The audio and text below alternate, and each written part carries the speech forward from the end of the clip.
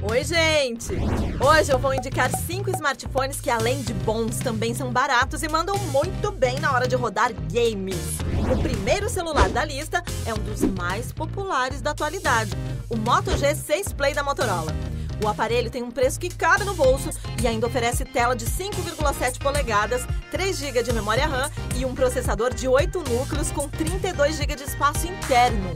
A bateria de 4.000 mAh promete mais de um dia de duração.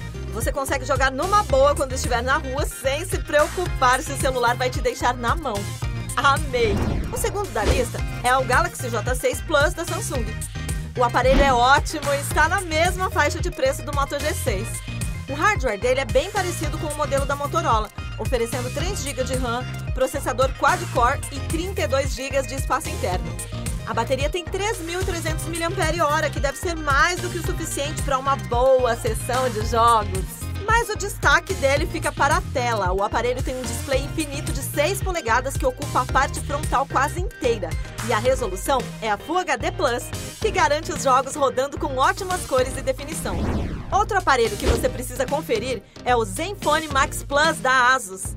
Ele tem tela de 5,7 polegadas com resolução Full HD, processador octa-core que garante bom desempenho para games, 32 GB de armazenamento interno e 3 GB de memória RAM. Ele ainda conta com uma bateria que dura muito, com mais de 4.100 mAh. Dá para você jogar por horas, sem se preocupar em ligar o aparelho na tomada. Minha quarta indicação é o Galaxy J8 da Samsung. Uma ótima opção para quem gosta de potência, mas não quer gastar muito. A tela Super AMOLED tem 6 polegadas e exibe imagens bem mais nítidas dos seus games. Além disso, ele tem um processador octa-core e 4 GB de RAM que garante que mesmo jogos pesados rodem de boa e sem travar.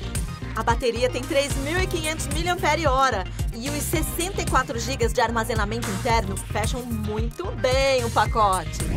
E aí, gente, será que vocês adivinham qual é a minha última sugestão? Uma dica: esse aparelho é ótimo para quem quer bastante potência para rodar jogos mais pesados. Eu tô falando do LG Q7 Plus. É claro que a LG não ia ficar fora dessa lista, né? A tela dele tem 5,5 polegadas e é menor do que os outros aparelhos. Mas ele compensa com o processador octa-core, 4 GB de RAM e 64 GB de espaço interno. O aparelho consegue segurar bem aqueles games que exigem mais dos gráficos. A bateria de 3.000 mAh não é a melhor da lista, mas com certeza também dá conta do recado na hora de jogar. E vocês já sabem, sempre que quiserem ver mais vídeos meus sobre smartphones, é só buscar por Smartphones Magalu no YouTube. Gostou? Então comenta, deixa seu like e me acompanhe sempre aqui.